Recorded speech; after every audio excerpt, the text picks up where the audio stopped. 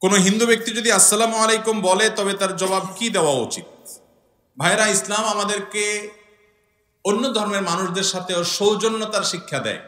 আমরা একটা সমাজে যখন বসবাস করব, বিভিন্ন ধর্মের মানুষ, অন্যান্য ধর্মের মানুষের সাথে আমাদের সৌজন্য, সম্প্রীতি, সৌহার্দ্য থাকবে।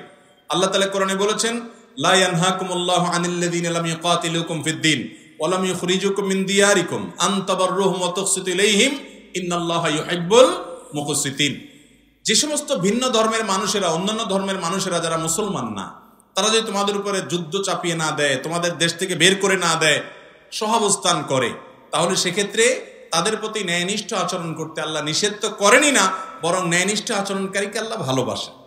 তাহলে তাদের সাথে ন্যায়নিষ্ঠ আচরণ করতে হবে। এখন সে আপনার সাথে কথা বলেছে, আপনি পাল্টা জবাব দিবেন।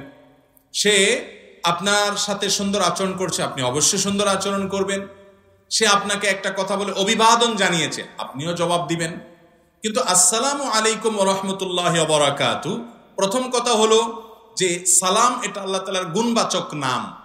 যে আল্লাহর আল্লাহর প্রতি বিশ্বাস করে না, গুণবাচক নামে বিশ্বাস করা তো অনেক পরের কথা। ঠিক না বে, ঠিক?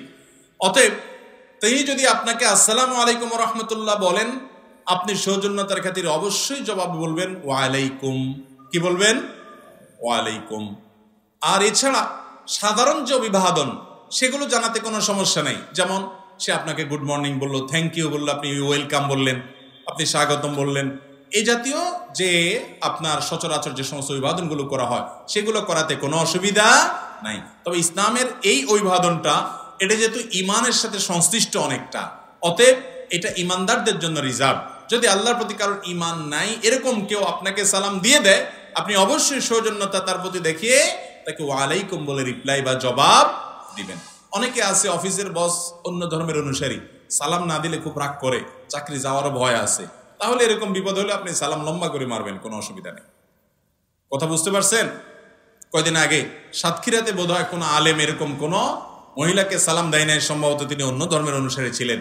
সেই মহিলা ওই আলেমকে অপমান পর্যন্ত করে ছাড়ছে। তো এরকম বহুত পাগল ছাগল, এরকম বহুত অশিক্ষিত অফিসারও এদেশে আছে। যে একজন মুসলমান তার ধর্মীয় দৃষ্টিকোণ থেকে, তার বিশ্বাসের জায়গা থেকে একটা কাজ তার করা না করার ব্যাপার থাকে, এটা নিয়ে আমার তো বলার কিছু নাই। অতএব এই সমস্ত মূর্খতা যেন আমরা না করি। তবে যেটা বলছিলাম, অন্য ধর্মাবলম্বী মানুষদের সাথে আমাদের সহাবস্থান, সুন্দর আচরণ, লেনদেন করা, হাওলাত দেওয়া, হাওলাত নেওয়া, তার কাছ থেকে আপনার সে কোনো উপঢৌকন দিলে হালাল হোসটা গ্রহণ করা, তাকে কোনোটা দেওয়া। নবী করিম সাল্লাম অনেক অমুসলিমের বাসায় দাওয়াত খেয়েছেন, তাদেরকে খাইয়েছেন, তাদের অধীনে কাজ করা, তাদেরকে কর্মী হিসাবে নিয়োগ দেওয়া, এগুলো সবগুলো জায়েজ আছে। প্রতিবেশী হিসাবে অন্য ধর্মের অনুসারী হলেও তার প্রতি সদাচরণ করা, এগুলো সব করতে হবে।